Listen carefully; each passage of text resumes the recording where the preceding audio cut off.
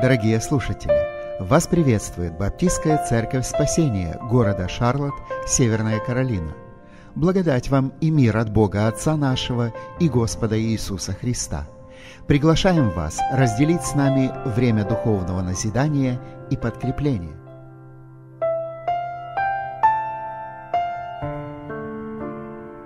Мир вам, дорогие братья и сестры. Время начинает наше служение. И перед тем, как помолиться, мы...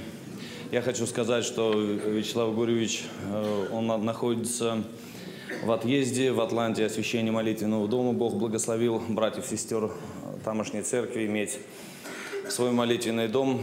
И также помолимся о Михаиле Антоновиче, то, что он находится на другом побережье, чтобы Господь его там хранил и благословил, и также, чтобы Бог благословил нас здесь сегодня. Боже наш, мы к Тебе обращаемся во имя Иисуса Христа и благодарим Тебя, что Ты Бог наш, что Ты слышишь молитвы наши, что Ты нам даешь дыхание жизни. Хвала Тебе за все, Боже. Хвала Тебе за то, что Ты заботишься о душах наших. И мы просим милости Твоей и благословения на сегодняшнее служение, Господи. Ты благослови нас. Благослови, чтобы наше предстояние пред Тобою было благоугодным Тебе, Господь, и помоги нам в кротости и смирении принимать Слово Твое, которое Ты сегодня приготовил. Благослови также уста братьев передать это Слово. И мы просим, благослови также наших братьев, которые не с нами сегодня, Вячеслав Гурич и Михаил Антонович.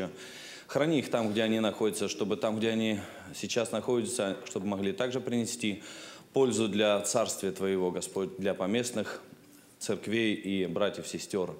Господи, благослови и сохрани каждого из нас, чтобы то слово, которое Ты приготовил, мы могли сложить сердца наши, как на добрую почву, чтобы никто и ничто не могли похитить это слово. Господь, сохрани нас в своем совершенном мире, просим Тебя об этом во имя Иисуса Христа. Аминь.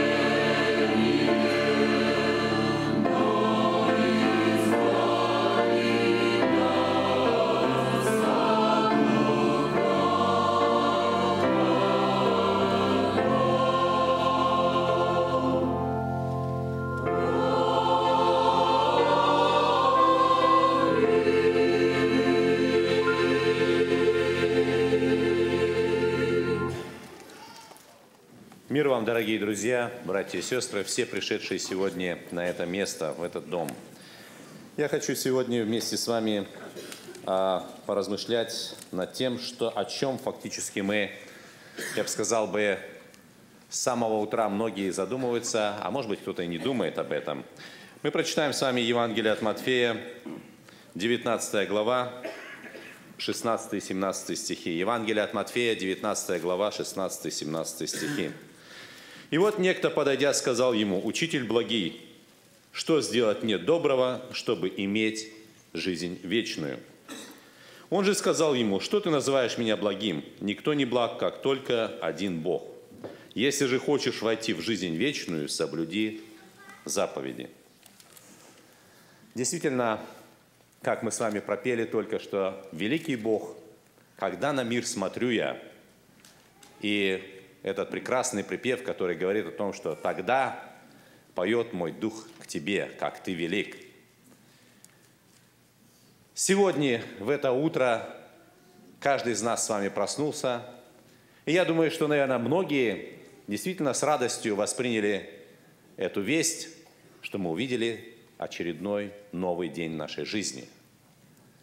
Я думаю, что это естественное и правильное желание для каждого человека, пришедшего на эту землю, радоваться жизни. Но многие, многие люди, тысячи людей, вполне возможно, не увидели сегодняшний день. Для них этот день закончился.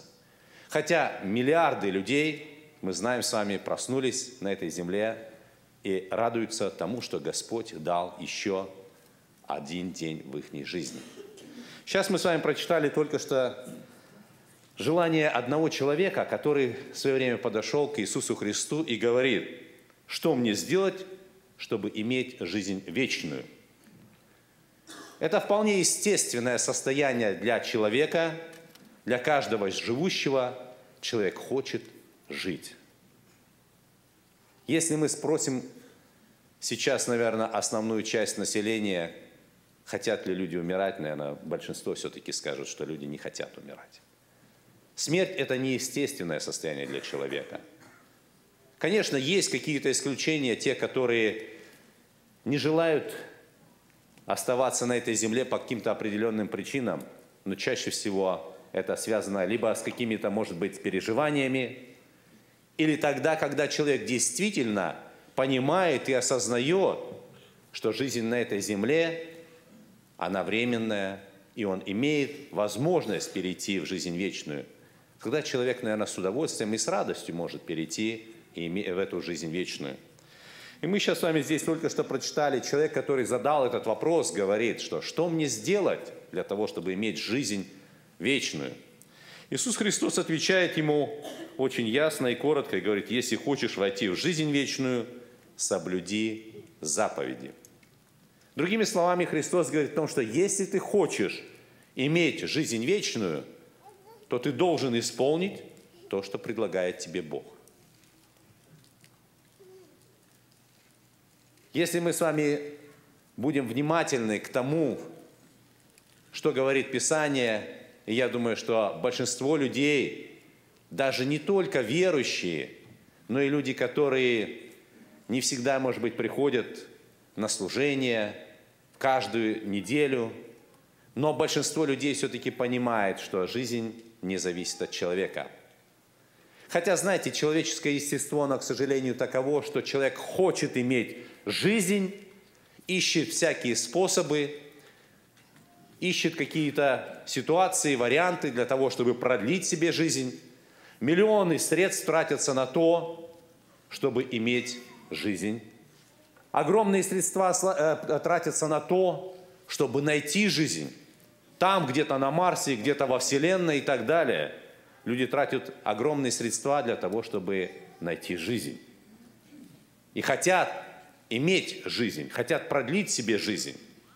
Знаете, когда-то э, мы все с вами знаем хорошо эту историю, когда написано в Писании книги Иова, там рассказывается или говорится о том, что когда Дьявол приходит и рассуждает с Богом об этом Иове, об этом человеке праведном, о богобоязненном, как характеризует его сам Господь, то помните такую ситуацию, когда после первого раза, когда он касается его, а Иова, и далее, второй раз, когда он приходит, он говорит, что кожа за кожу, а за жизнь свою, говорит, человек отдаст все –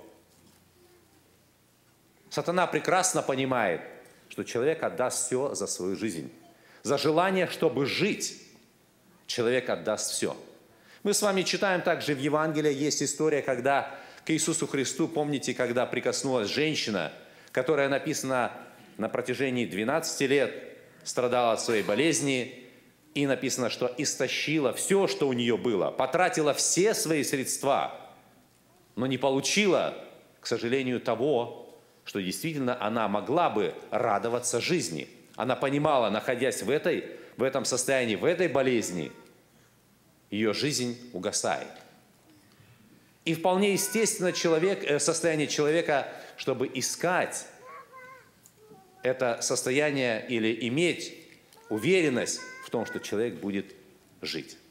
И вот этот молодой человек точно так же подходит к Иисусу Христу и говорит, что мне делать, чтобы иметь жизнь. И вы помните на ответ Иисуса Христа, когда Христос в дальнейшем в этом разговоре говорит ему, как и что нужно ему, что нужно сделать, знаете, к сожалению, он не понял самого главного. Я думаю, что, наверное, огромное число людей точно так же живут на этой земле. И, к сожалению, наверное, нужно сказать, что не только неверующие, но в том числе и люди верующие. Мы часто хотим жить и продлить нашу жизнь здесь, на этой земле – но мы, к сожалению, не до конца понимаем и осознаем, что Господь нам предлагает гораздо больше. Предлагает жизнь вечную не на этой земле. Человек, да, человек хочет жить, хочет жить вечно на этой земле. Он хочет жить, но хочет почему-то оставаться здесь, на этой земле. А Господь предлагает жизнь вечную. Знаете, в Евангелии от Иоанна мы с вами читаем – в третьей главе хорошо нам известны известное, э, известное это обстоятельство или разговор, который происходит у Иисуса Христа с Никодимом. И помните, там написано а, в третьем стихе, третья глава, в третьем стихе там Христос говорит, когда разговаривает с Никодимом, Он говорит ему, «Истинно говорю тебе, если кто не родится свыше, не может увидеть Царствие Божие». И в пятом стихе дальше сказано также, вторая половина этого стиха. «Если кто не родится от воды и духа, не может войти в Царство Божие». Знаете, есть определенные условия для того, чтобы иметь жизнь вечную. Человек тратит огромные средства, человек готов отдать, казалось бы, все то, что он имеет здесь, на этой земле. Богатые люди готовы заплатить за свое здоровье, готовы платить огромные средства для того, чтобы немножко хотя бы как-то продлить жизнь но Христос предлагает жизнь вечную. И Он говорит, что есть определенные условия. Определенные условия от того, который является источником жизни. Тот, который является действительным источником жизни. И Господь говорит о том, что для того, чтобы войти в жизнь вечную, необходимо иметь рождение свыше – мы сейчас с вами прочитали, здесь Христос говорит о том, что если кто не родится свыше, не может увидеть Царствие Божие. Другими словами, тот, кто не родится свыше, даже не имеет возможности увидеть эту жизнь вечную. И дальше Христос повторяет, говорит, если кто не родится от воды и духа, не может войти в Царствие Божие. Знаете, это единственный критерий для того, чтобы иметь жизнь вечную. Я знаю и хочу сказать, что слава Господу, что сегодня в этом зале большое число находится тех, которые имеют это рождение свыше. И действительно, мы с вами могли с радостью сегодня петь о том, что Господь велик. Господь велик по той причине, что жизнь, которая зависит от Бога, и мы прекрасно понимаем, что наше желание иметь эту жизнь, и мы хотим иметь эту жизнь, наше желание зависит не от того, сколько люди потратят на эти средства для того, чтобы искать или каким-то образом продлить жизнь, но от того, который дает эту жизнь. Я хочу, чтобы сейчас мы вместе с вами, склонившись на наши колени, прославили действительно того, который дал и дает нам эту жизнь. Тот, который позволил нам сегодня увидеть этот новый день. Тот, который обещает нам с вами иметь жизнь вечную. В, этом, в этой же главе, в третьей главе, последнем 36 стихе здесь написаны такие слова. «Верующий в Сына имеет жизнь вечную, а неверующий в Сына не увидит жизни». Я хочу, чтобы сегодня эти слова прозвучали напоминанием для тех, которые имеют рождение свыше, чтобы мы помнили и заботились, что, как Христос сказал о том, что если ты хочешь иметь жизнь, последуй за мною. Соблюди заповеди, иди за мной, и тогда ты будешь иметь жизнь вечную. Я хочу напомнить эти слова, которые сказал только что Христос, говорит о том, что верующий в Сына имеет жизнь, а неверующий в Сына не увидит жизни. Для тех, которые, может быть, не имеют рождения свыше. Дорогие друзья, сегодня Господь дает вам жизнь здесь, на этой земле, продлевает ее для того, чтобы вы использовали этот еще один шанс для того, чтобы иметь жизнь вечную. По той причине, что если мы с вами или, или вы не обратитесь к Нему, Господь говорит, и Писание говорит о том, что вы не увидите жизни вечной. Да будет имя Его прославлено, возвеличено, потому что Он действительно тот, который дает жизнь нам и всему живому. Аминь. Будем молиться.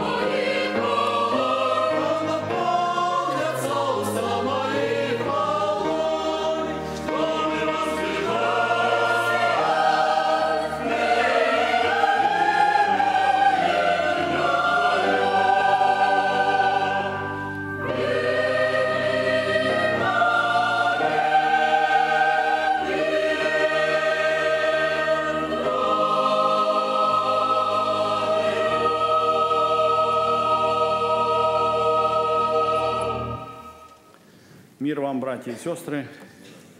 В продолжение нашего служения я хочу вместе с вами прочитать текст из Слова Божия, записанный в Евангелии от Матфея, 4 глава, с 1 стиха будем читать. «Тогда Иисус возведен был духом в пустыню для искушения дьявола. И постившись сорок дней и сорок ночей, напоследок взалкал.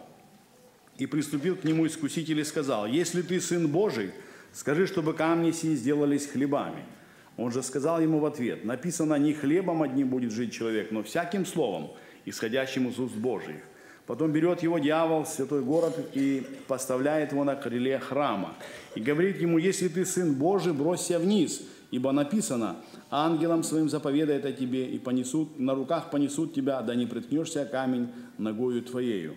Иисус сказал ему, написано также, не искушай Господа Бога твоего. Опять берет его дьявол на весьма высокую гору и показывает ему все царства мира и славу их. И говорит ему, все это дам тебе, если, пав, поклонишься мне. Тогда Иисус говорит ему, отойди от меня, сатана, ибо написано, Господу Богу твоему поклоняйся и Ему одному служи. Тогда оставляет его дьявол, и все ангелы приступили и служили ему. Текст, который мы прочитали, очень хорошо нам известен. Я думаю, что мы много раз слышали с вами проповеди на подобную тематику. Я э, хотел бы обратить наше сегодня внимание всего лишь на одну фразу из всего прочитанного. Она записана в 10 стихе. Здесь так написано, «Господу Богу твоему поклоняйся, Ему одному служи».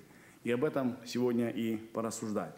Ну а прежде несколько слов о том, что переживал наш Господь Иисус Христос – прошлое воскресенье мы имели с вами возможность а, отмечать или праздновать праздник Крещения Господня. Так вот, первое событие, которое случилось в его жизни после крещения, и перед тем, как он выйдет на официальное служение, это было искушение дьявола. Так написано в Слове Господнем. Здесь написано, что потом или тогда Иисус возведен был духом в пустыню для искушения дьявола. Очень э, важна истина, что Христос возведен был туда духом. Не просто э, сам искал себе приключений, потому что э, все в Слове Господнем имеет большое значение. Когда встречаются в нашей жизни какие-то переживания, и на то есть Божья воля, то Бог дает нам определенные силы для того, чтобы перенести это искушение. Есть другая ситуация, когда христианин сам э, пробует свои силы или хочет померяться силами с искушением – Обычно, может быть, это больше относится к молодым людям, потому что э, зрелые христиане знают, что э, такое желание обречено на провал. И поэтому только тогда, когда Дух Святой ведет нас по этому пути, только тогда мы можем одерживать какие-то победы в нашей христианской жизни. Так в Слове Господнем и написано в первом послании к Коринфянам, 10 главе, 13 стих, там э, сказаны такие слова. «Вас постигло искушение не иное, как человеческое, и верен Бог, который не попустит вам быть искушаемым сверх сил, но при искушении даст и облегчение, так, чтобы вы могли перенести. Братья и сестры, это очень важный стих, и нам важно помнить его наизусть, потому что рано или поздно в жизни нашей христианской встречаются различного рода искушения. Слово «искушение» имеет два понятия. А, оно встречается в Слове Божьем под понятием «испытание», и когда речь идет об испытании, как, допустим, в Слове Господнем написано «искушал Бог Авраама», имеется в виду Бог испытывал. Всякий раз, когда Бог проводит нас через подобного рода искушения, или мы говорим, будет более правильно сказать, испытания, у Бога есть цель, чтобы мы стали лучше, чтобы мы стали чище, чтобы мы э, чему-то в своей жизни научились. Так это было с Авраамом, и в Слове Господнем написано, мы знаем с вами, как после этих огненных искушений, которые были в его жизни, когда нужно было принести в жертву собственного сына, Христос однажды скажет, Авраам рад был увидеть день мой, и увидел, и возрадовался. Это откровение он получил именно тогда, тогда, когда переживал подобное э, искушение. Мы знаем с вами, подобное искушение испытывает Иов. Это была очень тяжелая болезнь у него. И по всей видимости, до того, как с ним это случилось, Иов думал, что он очень много знает, и он понимает Бога. Но после того, как он пройдет через эти все переживания, после того, как Бог даст ему силу устоять в этих искушениях и испытаниях, Иов скажет знаменитые свои слова. Он скажет, я слышал о тебе слухом уха, теперь же мои глаза видят тебя. То есть у него было просто поверхностное знание о Боге, Но когда Бог его провел через переживание и искушение, он получил более полное понимание Бога.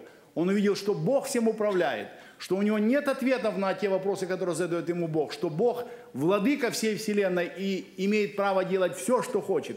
И то, что он делает, это всегда доброе, потому что так написано э, в Слове Божьем, что воля Божия благая, угодная и совершенная.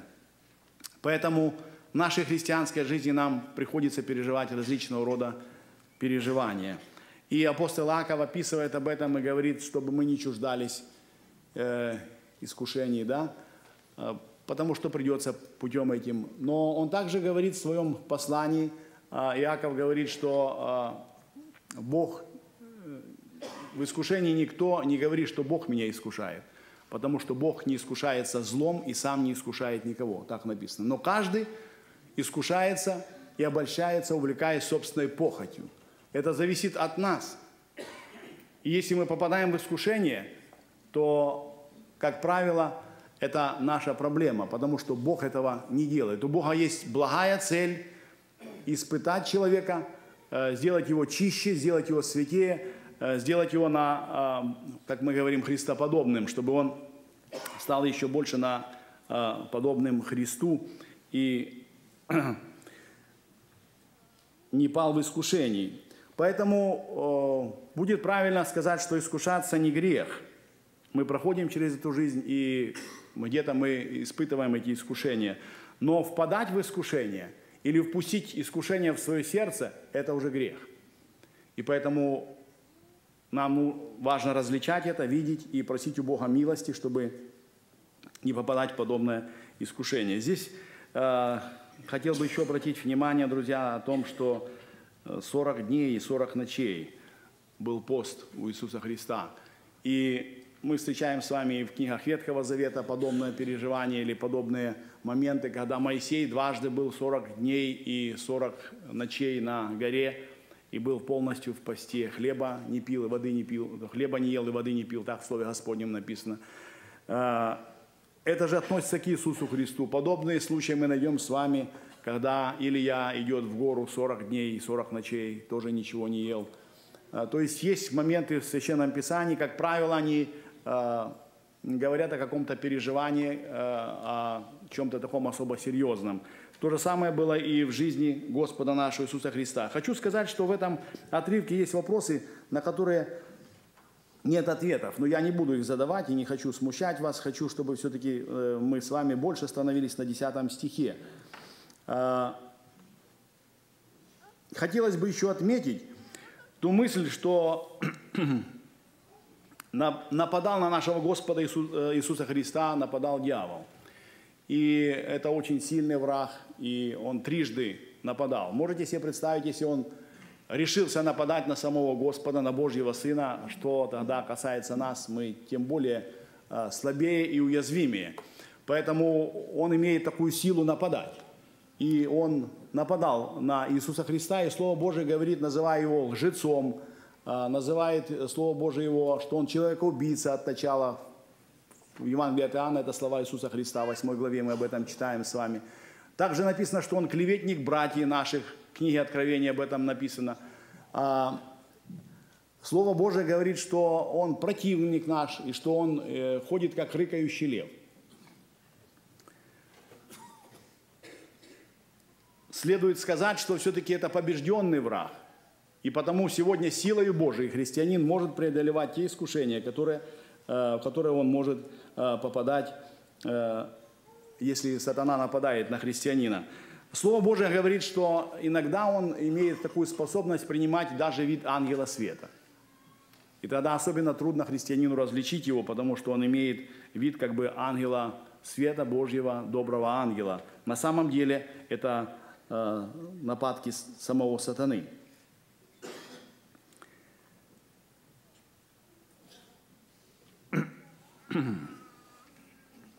А теперь я хотел бы, чтобы мы обратили с вами внимание на 10 стих и о нем порассуждали.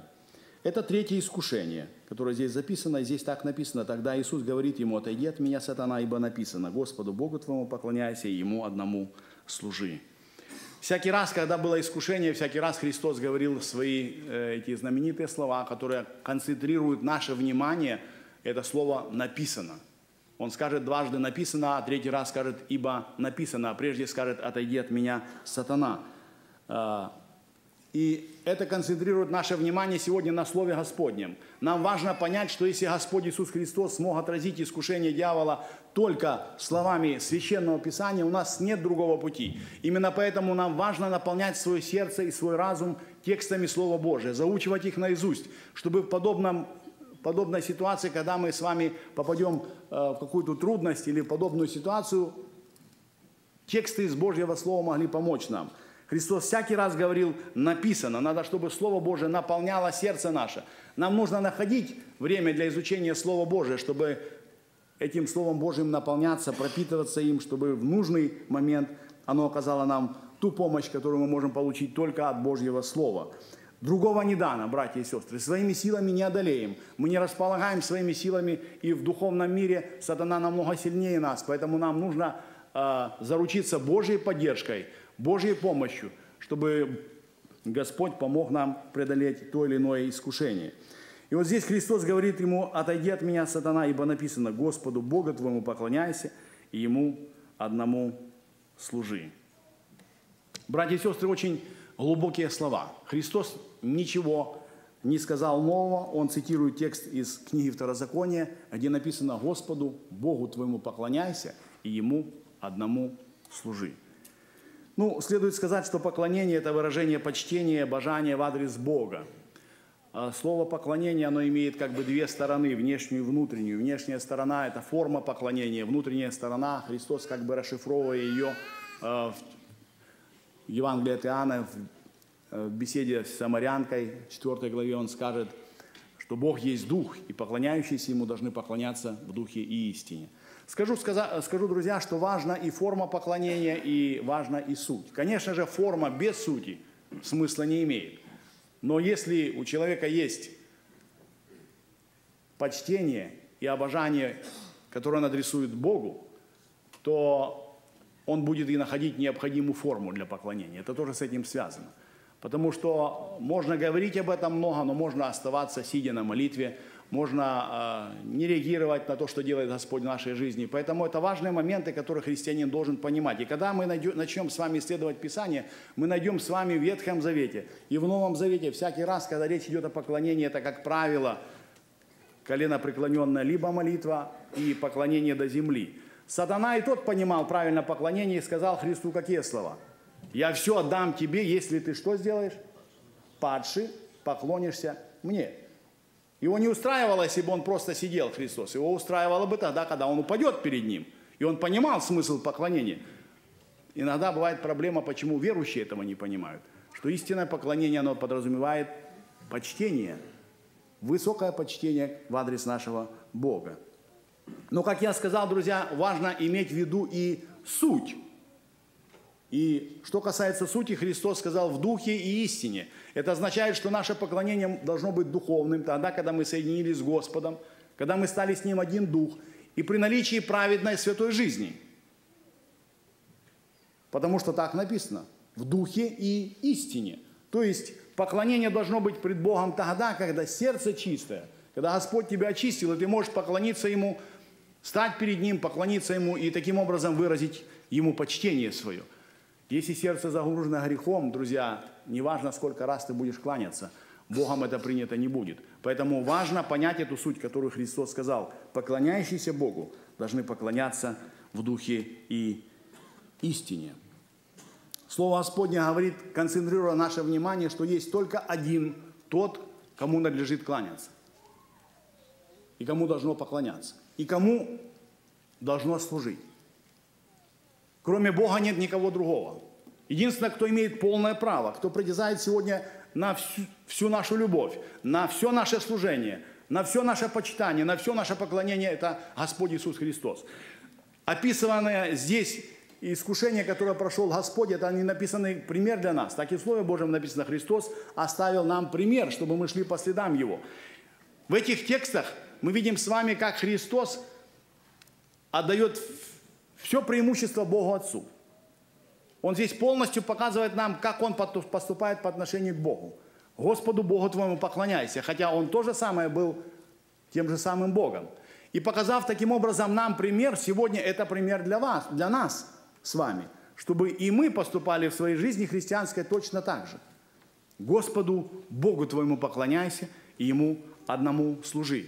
Братья и сестры, нет никого и ничего в этом мире, кто имеет такое право, как Бог, на наше с вами поклонение, на наше с вами служение, на наше с вами послушание. Никого и ничего. Только Он один. Слово Господне так и говорит.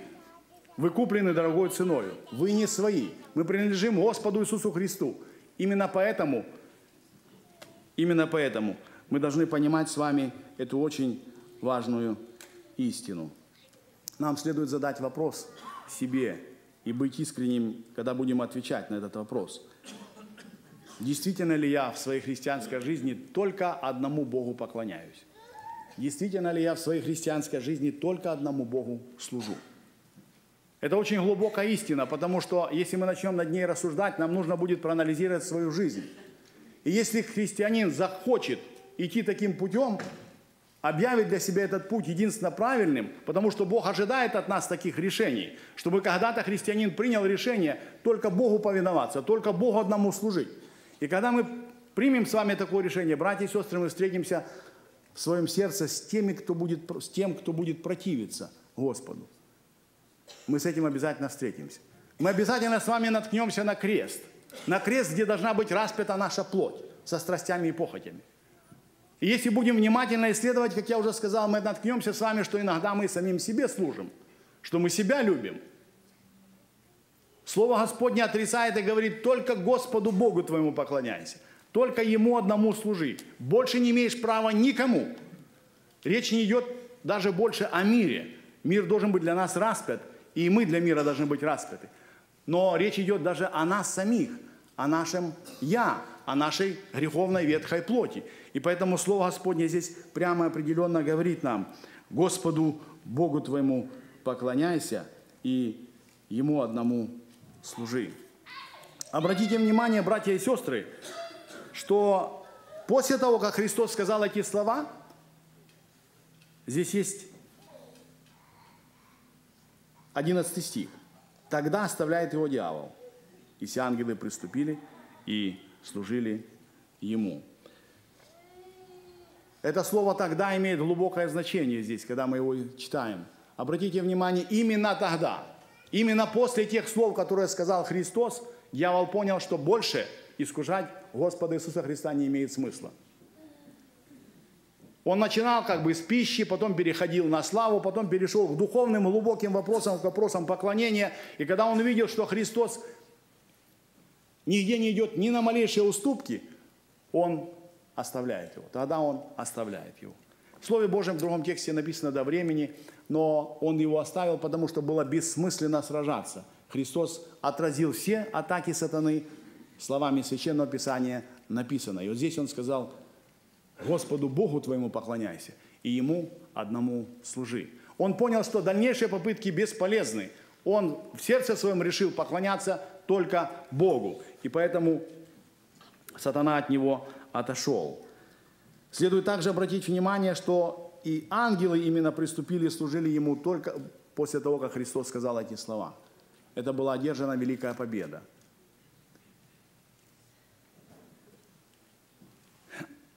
Нам следует понимать, что когда речь идет о личности Господа нашего Спасителя Иисуса Христа – то эта личность не принадлежит чему-то такому далеко прошедшему или далеко от нас ушедшему.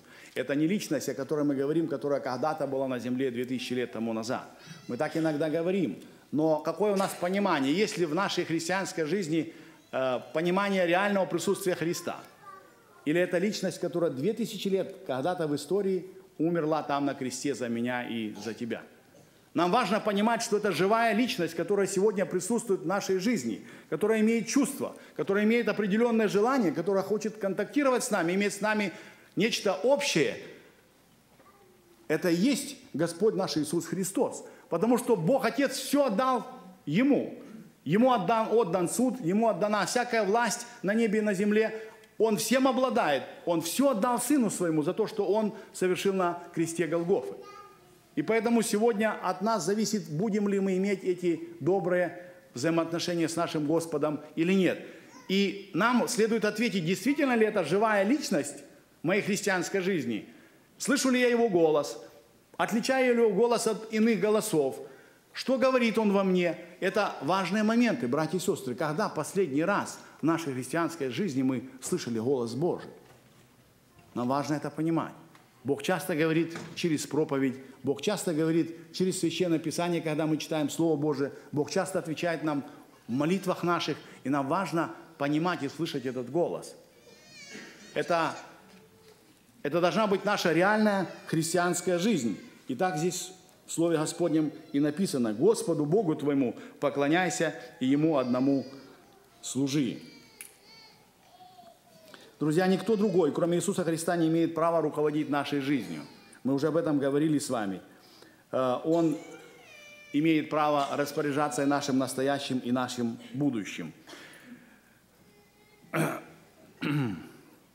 Христианская жизнь, э, она не вращается только вокруг вопросов, связанных с моралью, с вопросами добра и зла. Христианская жизнь, э, она заканчивается там и начинается там, где вопрос стоит между двумя волями. Моя воля и воля Божия. Там, где стоит два вопроса, мой разум и разум Божий. И вот эта наша воля должна подчиниться Божьей воле. Наш разум должен подчиниться Божьему разуму. Мы должны согласиться с Его волей. Только тогда в Слове Господне может исполниться то, что здесь написано. Господу Богу твоему поклоняйся и Ему одному служи. Там, где моего не, я уже нет – там, где все во всем Христос, там, где мы согласны с Его волей, там, где не управляем своей жизнью самостоятельно. Ведь не секрет, что часто мы берем бразды правления в наши руки и своей жизнью управляем сами. И когда видим какой-то крах, или когда мы приходим к какому-то печальному концу, мы задаем сами себе вопросы, не можем понять, почему мы туда пришли. И говорим, ну ведь на все есть воля Божия. Братья и сестры, очень часто мы сами управляем своей жизнью – и потому имеем так много в христианской жизни проблем.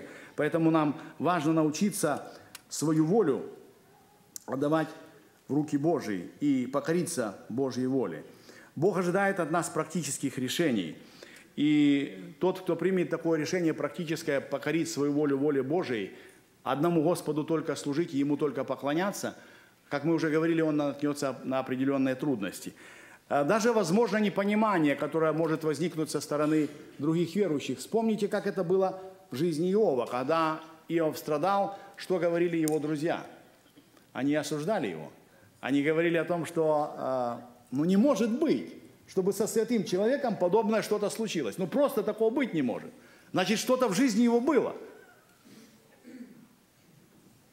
А разве не это говорили Христу, когда он висел на кресте?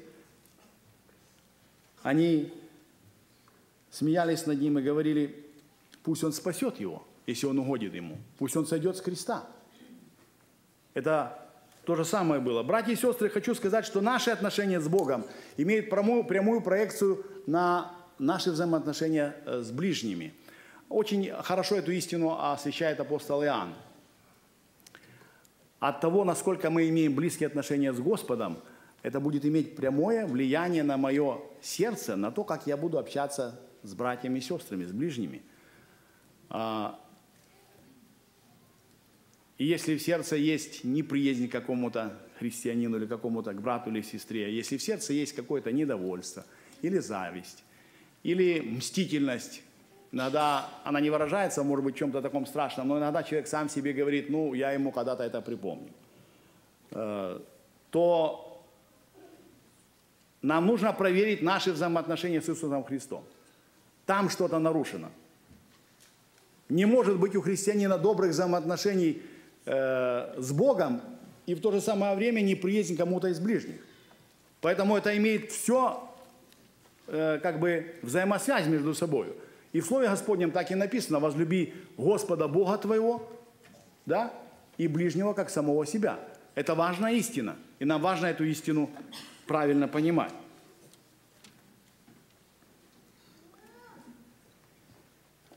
Мы живем с вами в такое время, когда очень много всего написано об Иисусе Христе. Есть много книг, оставлено нам Евангелие, есть много проповедей на эту тему, есть учение, а, есть богословский термин, а, говорящий об Иисусе Христе. А, можно сказать, даже есть символ веры. Но надо признать, что нам недостает живого общения с этой личностью. И хотелось бы, чтобы э, после того, как э, я закончу свою проповедь, или, может быть, даже во время проповеди, чтобы каждый мог задать себе вопрос, действительно ли я нуждаюсь Иисусе Христе каждый день, каждый миг моей жизни, действительно ли я это ощущаю всем своим сердцем, действительно ли Христос реально присутствует в моей жизни, Он живая личность, которая сегодня и всегда со мной, от моего пробуждения до того момента, когда я ложусь спать каждый день. Или, как мы уже говорили с вами, это далекая личность, которая приходила на эту землю 2000 лет тому назад. Братья и сестры, мы утешаем друг друга словами из Священного Писания, что Христос обязательно вернется, что Он придет за своей церковью, и это истина. И написано, чтобы мы утешали друг друга семи словами. Но нам важно понимать, что Христос, когда ушел, Он остался здесь на земле в лице Духа Святого. Он сказал, не оставлю вас сиротами, приду к вам. И это не имелось в виду пришествие Господа нашего Христа, которого мы ожидаем, которое мы ожидаем с вами. Это случилось в день Пятидесятницы, когда в лице Духа Святого Христос опустился на эту землю и сегодня готов реально присутствовать в каждой христианской жизни. Он хочет, чтобы наше сердце наполнялось Божьим присутствием, чтобы Дух Святой мог управлять нашими сердцами, нашими жизнями.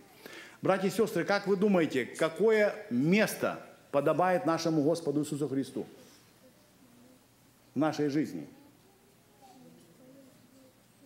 Ну, смелее. Первое место, главное место. Брат Юрий, какую мысль сказал? Все место. Вот где правильный ответ. Если мы на первое место поставим Христа, а там у нас еще есть пять мест, то там что мы расставим? В свете текста, который мы с вами прочитали, Господу Богу твоему поклоняйся, Ему одному служи, братья и сестры, не остается никаких других мест.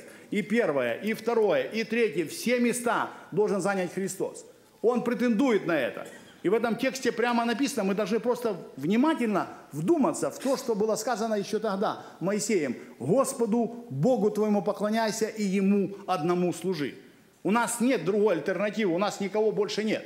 Мы должны Бога, нашего Господа Иисуса Христа, поставить на все места в нашем сердце и все сердце свое отдать Ему. Я буду заканчивать свою проповедь, и так бы хотелось, чтобы это событие, которое случилось в жизни Господа нашего Иисуса Христа после крещения, когда Бог, Отец, выразил свое благоволение к своему Сыну и громогласным голосом сказал, «Сей Сын мой возлюбленный, в котором мое благоволение». Христос одерживает эту победу, после чего выйдет на служение. Христос выйдет на служение, и служение будет победоносным. Бог благословит и нашу жизнь тогда, когда мы примем практическое решение в нашей христианской жизни – жить для Бога, повиноваться Богу, поклоняться одному Богу и Ему одному служить. Аминь.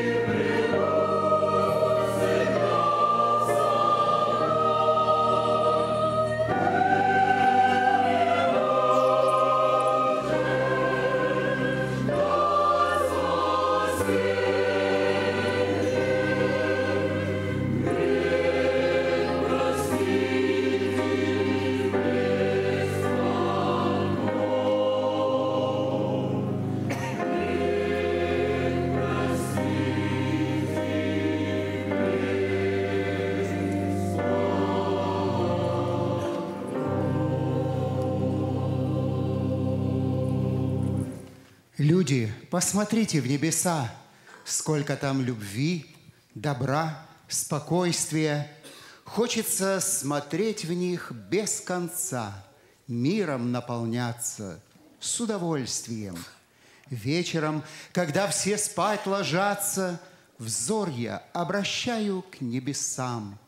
Вижу, что все в жизни не напрасно, как мудра Создателя рука. Небеса, хоть вечером, хоть утром вы открыты сердцу моему, созданы великолепно, чудно, о хвала Спасителю, Творцу. Знаю, что мой Бог придет, и скоро я с Ним вместе к небу вознесусь. Там моя отчизна, там мой город – жизнь моя, и там мой Иисус. Люди, посмотрите в небеса, сколько там любви, добра, спокойствия, и примите благодать Отца. Миром Он наполнит с удовольствием. Аминь.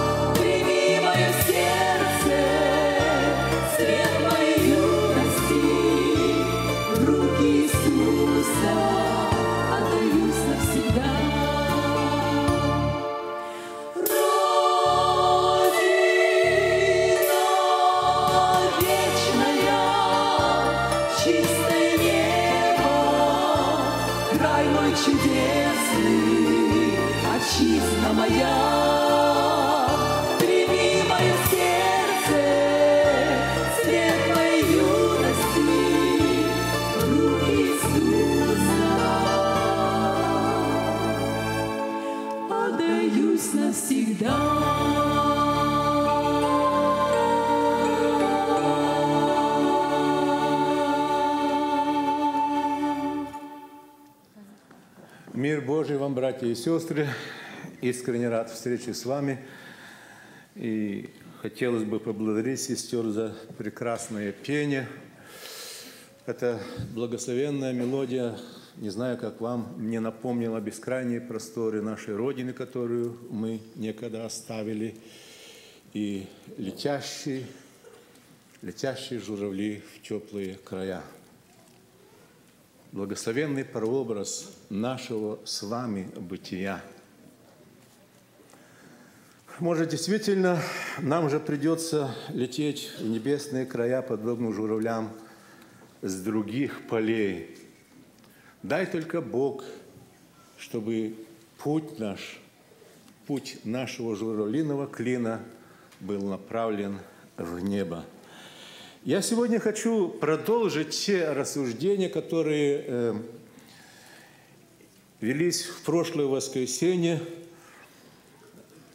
и прочитать текст, который записан 1 Тимофею 3, 16. Может быть, даже он читался, я еще раз его повторю. И беспрекословно великая благочестие тайна – Бог явился во плоти, оправдал себя в духе, показал себя ангелом, проповедан в народах, принят верой в мире, вознесся в славе. Это один из тех текстов, на который можно проповедовать в течение всей жизни. И всегда найдется что-то сказать на в любое время года, а, в любом собрании народа Божьего. Здесь в основу текста положено, заметили, беспрекословно великая благочестие тайна, которая явлена Богом в Иисусе Христе для каждого из нас. В основу величия этой тайны заложено мое и твое спасение, то, что Бог сделал для меня и для тебя – не просто большая тайна, тайна великая, тайна, которая состоит из многих действий, которые вмещают в себя многие действия Бога по отношению э, к человеку. Вот в чем ее величие.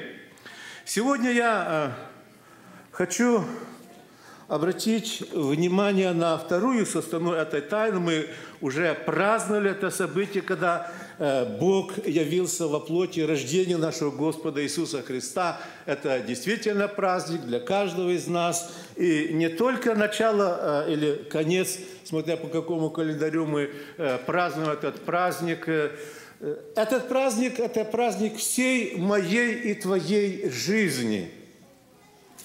Второе, вторая составная или второе величие этой тайны – это то, что Бог себя оправдал в духе. Это то событие, которое э, мы называем крещение Господне. Э, есть одна прекрасная картина, она называется «Явление Христа народу». Э, я не знаю, помните, кто написал эту картину? Знаменитая картина, знаменитый художник – явление Христа народу. Каким образом а, э, он, а, и как он представлял это э, явление Христа народу, как он понимал библейский текст и как он воплотил.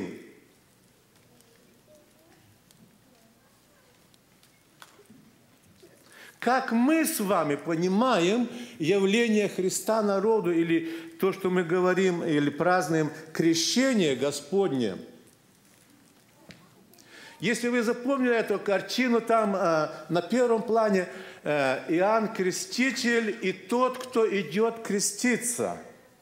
Именно так в своем воображении представлял Иванов тот момент, когда Иоанн указывал рукой на идущего креститься к нему Иисуса, сказав, что вот что, Агнец Божий, который берет на себя грех мира. Это действительно великая и благочестие, э, благочестие тайна. Это то, что можно назвать открытое явление Иисуса Христа как Сына Божия Израилю, это действительно свидетельство Иоанна. Это не только просто то, что нужно было креститься, потому что нужно было креститься.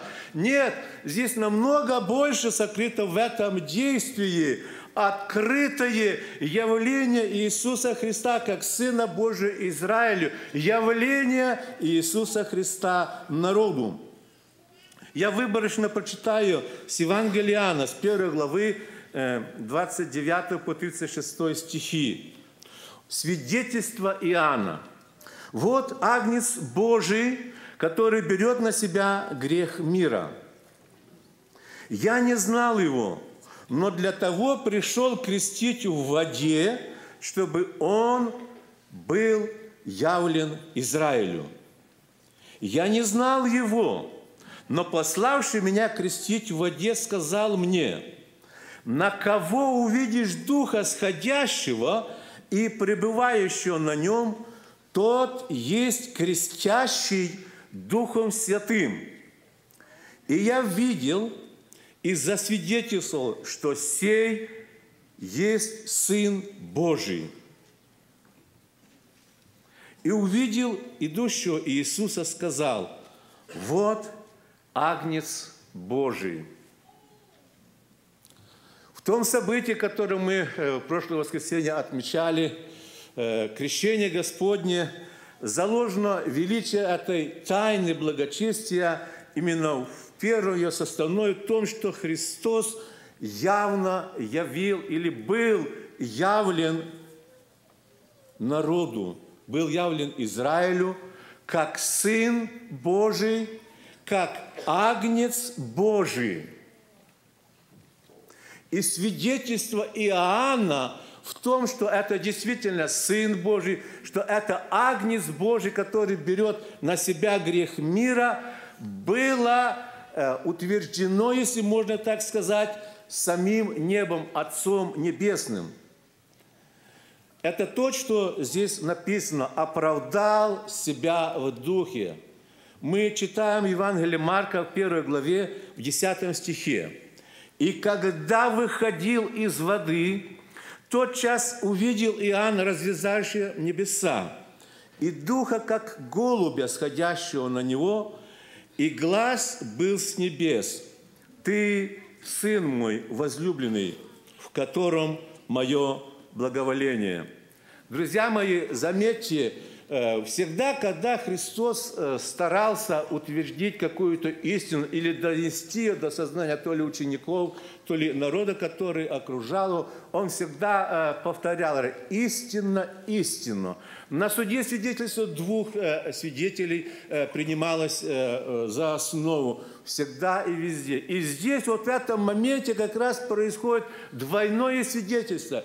Первое от Иоанна – который представил э, Иисуса Христа, идущего к Нему креститься, как Агнца Божия, как Сына Божия, который берет на себя грех мира.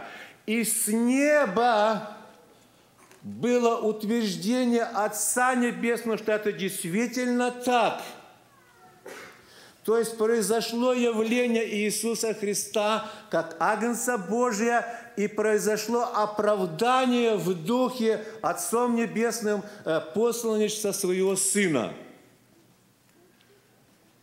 И третье, на что я хотел бы обратить наше внимание вот в этом э, евангельском событии – это правда этого крещения, э, но не только этого, но потому как это крещение положило э, начало дальнейшим вот событиям в церкви Иисуса Христа, когда Иисус шел креститься к Иоанну, Иоанн удержал его. Я думаю, вы даже наизусть некоторые знаете вот этот момент.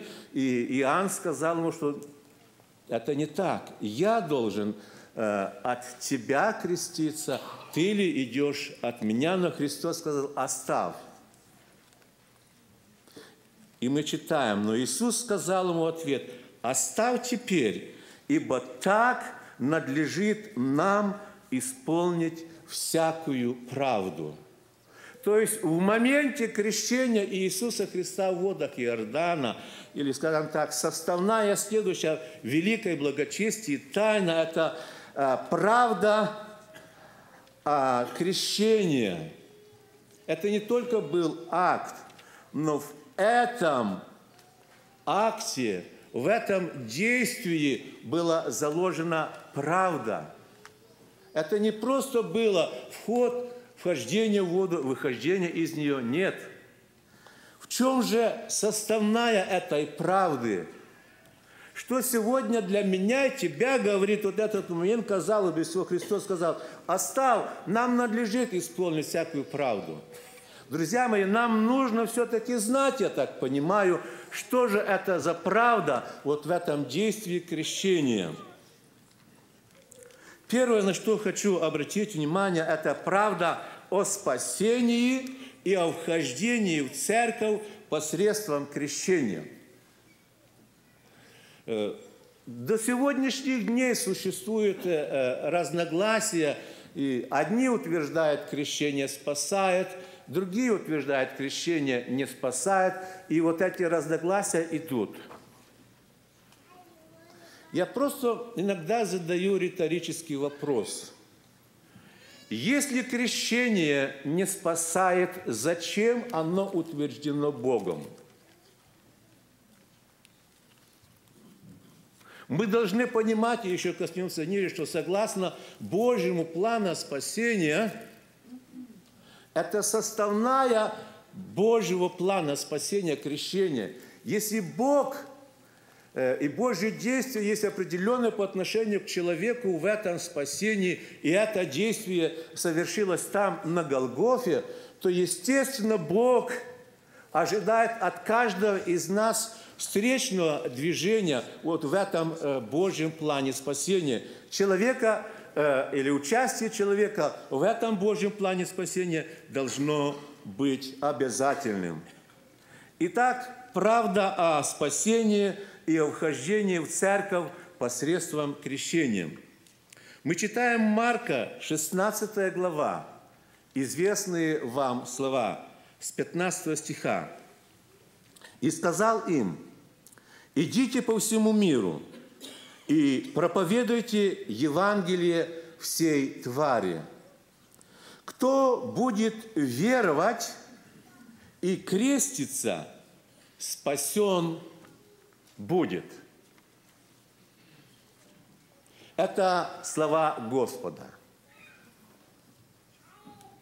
Господа нашего Иисуса Христа, нашего Спасителя – он дал это поручение великое для своих учеников. Идите по всему миру, проповедуйте Евангелие, Евангелие Царствия всему творению. И вот следующее то, что от человека нужно. Первое, кто будет веровать? Следующий шаг какой? – и креститься или креститься. И дальше идет Божье заключение или определение. Что там написано? Спасен будет. Кто будет веровать и креститься, спасен будет. Вы верите этому? Я глубоко верю и проповедую это везде –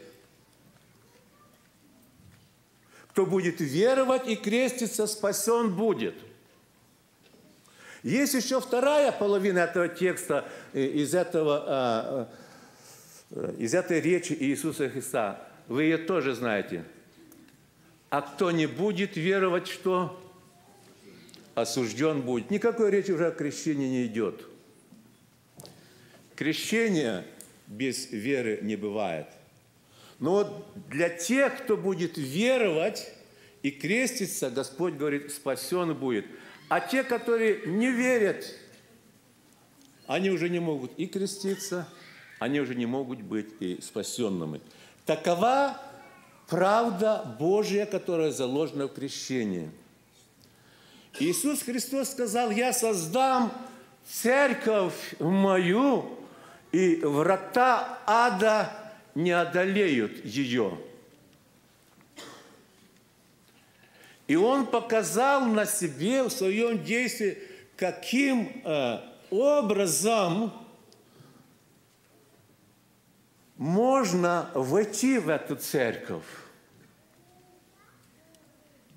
Он сделал шаг, он положил себя в основании. Да? Э, апостол Павел не однажды говорит о том, что э, положено, ну, одно есть основание, на котором зиждется весь дом, этот кто? Иисус Христос. Так вот, в основании церкви он положил себя следующим образом. Он крестился, то, что мы называем святым водным крещением. Именно таким образом – после Иисуса Христа на этом краеугольном камне строится церковь Его. Вхождение в поместную церковь через святое водное крещение поверим. И каждый раз, когда креститель крестит э, новых э, членов церкви, вопрос во все времена уже на протяжении двух тысяч лет задается один и тот же – веришь ли в Господа Иисуса Христа?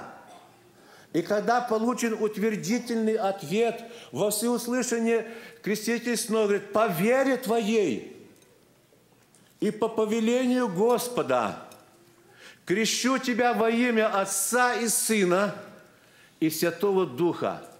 И таким образом человек на основе веры своей принявших Господа Иисуса Христа в свое сердце, в свою жизнь, принимает святое водное крещение, входит в поместную церковь, которая, видимая, является частью невидимой Вселенской Церкви Христовой. Других путей вхождения в Церковь Христову нету. Этот путь или это начало положил сам Господь Иисус Христос. В этом Божья правда о спасении. Мы читаем у Деяния апостолов, 2 глава, 41 и 47 стихи. Может, нам э, будет, э, было трудно как-то э, согласиться с тем текстом, что действительно через крещение, через святое водное крещение люди присоединяются к церкви. Итак, охотно принявшие Слово Его крестились, и присоединилось в тот день душ около трех тысяч. Господь же ежедневно прилагал спасаемых к церкви. Вот таким образом люди присоединились э, к церкви, или, скажем, таким вот образом стало явное вот это рождение – церкви Иисуса Христа, слушали Слово Божие. Дух Святой коснулся их сердец, и они обратились с вопросом, э, мужи, братья, что нам делать, чтобы спастись? И вы помните эти знаменитые слова Петра, которые он обратился с краткой, но животворящей речью к тем, которые э, спросили об этом. Люди приняли это верою, крестилось в один день около трех тысяч, присоединились таким образом к церкви. А в дальнейшем это происходило в первой церкви, я не знаю на протяжении сколько времени, но вот этот шаг происходил. Господь ежедневно таким вот образом прилагал спасаемых к церкви. Это правда в том, что некогда мы, приняв верую Господа в свое сердце, согласились определением Божьего плана спасения.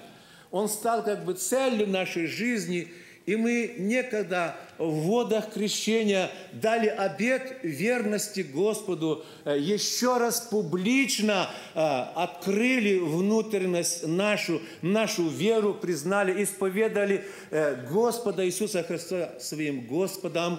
Мы исповедовали нашу веру, мы исповедовали наш путь следования за Господом, приняли святое водное крещение и следуем за Господом.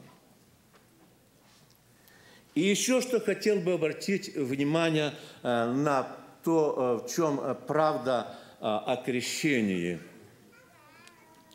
Вы знаете, есть моменты на страницах Евангелия или есть истины, которые не нуждаются ни в толковании, э, ни в других таких, а принимаются как данность.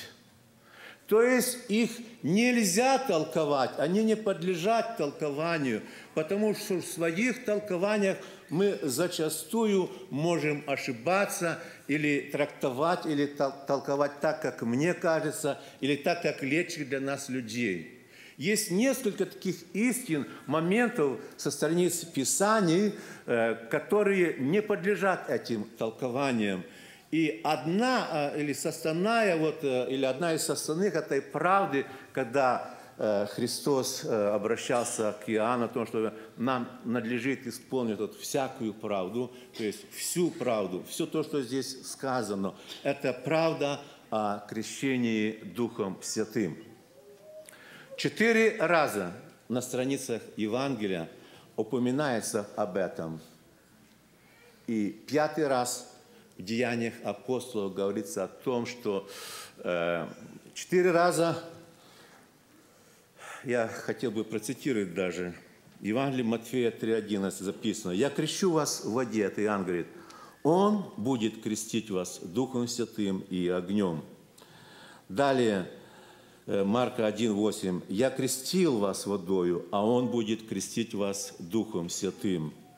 Луки 3,16 мы читаем. «Я крещу вас водою, Он будет крестить вас Духом Святым и огнем». И Иоанна 1,33. «Я не знал Его, но пославший меня крестить в воде сказал мне, на кого увидишь Духа сходящего и пребывающего на нем, тот есть крестящий Духом Святым. Это Божья правда о крещении Духом Святым. Это один, одна из тех истин, которая не подлежит толкованию. Четыре раза об этом сказано на страницах э, Писаний. И пятый раз э, мы читаем в Деяниях апостолов, э, когда Христос при своем вознесении – разговаривал с учениками и напомнил им эту истину и сказал, вы будете крещены Духом Святым. Я хотел бы обратить наше внимание на то, что крещение Духом Святым совершается уже над человеком, который принял Господа Иисуса Христа в свое сердце. Совершается над спасенным человеком – который крестился святым водным крещением, который является членом Церкви Иисуса Христа. И вот эту привилегию Бог сохранил в своих правах крестить нас Духом Святым для определенной цели. Эм, единственное, что э, признак э, того, о чем мы говорим, крещение Духом Святым или исполнение – Э, Христос сказал следующим образом, по плодам их узнаете их. Друзья мои, заканчивая вот эти краткие рассуждения э, о том событии, евангельском событии, которое совершилось там на берегах Иордана, которое котором Христос явил эту следующую составную великое благочестие тайны. В этом событии Христос показал на себе, каким образом каждый из нас по вере, приняв Иисуса Христа в свое сердце, в свою жизнь, по вере приняв святое водное крещение, каким образом люди должны входить и будут входить в церковь, становясь ее составною – каким образом нам нужно служить и поклоняться нашему Господу в духе и в истине. И пусть еще раз это евангельское событие там, на берегах Иордана, напомнит нам, кто положил себя в основании церкви, кто предложил или, скажем, показал нам, как нам в дальнейшем действовать. Кто утвердил эту истину для церкви. Пусть каждый раз, когда у нас в поместной церкви совершается святое водное крещение, будем помнить о том, что это не просто обычай, это не просто э, какое-то э, установление э, отцов или старцев. Нет – это Божья правда в Божьем плане спасения по отношению ко мне, к тебе, по отношению к каждому из нас. И призываю всех нас к благодарственной молитве в заключении нашего богослужебного собрания. Я бы хотел, чтобы мы еще раз поблагодарили нашего Господа за воды Иордана, в которых Он принял крещение, за отверзшиеся небеса и за Духа Святого, который снизошел на Него, увидев голубя. Поблагодарим за свидетельство Иоанна, поблагодарим Иисуса Христа за Его открытие миру, Израилю и нам, как Спасителя Божьего – и поблагодарим Отца Небесного, что голос небес от Него был за то, что Он утвердил Своего Сына, моего Господа Иисуса Христа, моим и Твоим Спасителем. Аминь.